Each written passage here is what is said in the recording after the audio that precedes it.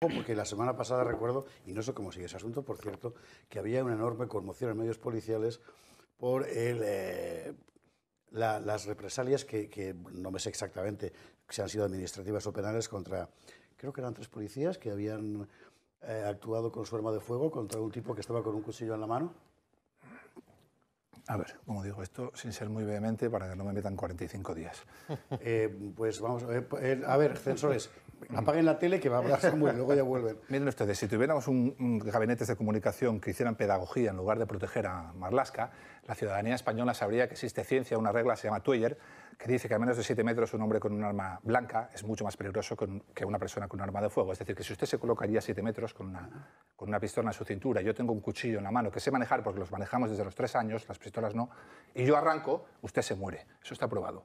No le da tiempo a sacar el arma. Usted se No te da tiempo a reaccionar. Bien, como eso está probado y es ciencia, parece bastante ridículo, acaban de matarnos a un sacristán con un machete hace cuatro días, que una, vayas a una llamada, siendo un padre de familia, a jugarte la vida porque un señor está atacando a su madre con un cuchillo de grandes dimensiones, que llegues allí en, un- en una- en un recinto cerrado como este, es decir, sin posibilidad de, de mucho movimiento, te ataquen con ese cuchillo, tú lo abatas porque no hay otra manera de pararlo, porque si le dejas que te acerque de una sola puñalada, Te la clava. puedes no volver a ver a tus hijos nunca más.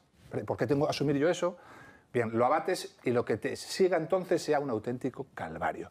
Aunque salgan inocentes, que van a salir inocentes, son tres años de proceso judicial. Tres años. Que afecta a sus familias, sus mujeres, sus hijos. Esos eh, tres policías, tres policías valientes, nunca más volverán a llegar temprano. Han creado tres nuevos funcionarios que cambiarán dinero por horas. Quiere decir que no se lo, que no se lo van a jugar, vamos. ¿Usted se cree que merece la pena jugársela? O sea, yo voy, soy un padre de familia, voy a dar lo mejor de mí, voy a, voy a poner mi vida para defender la tuya.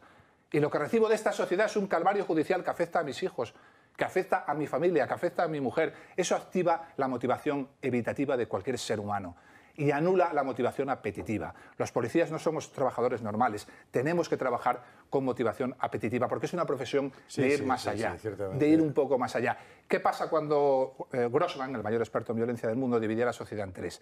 Aquellos que no tienen capacidad para la violencia, ovejas, los llamaba él, la inmensa mayoría de la ciudadanía, aquellos que sí tienen y además deciden utilizarla, los lobos, y para enfrentarse a eso se necesitan otros que también tengan y también decidan utilizarla, los perros pastores.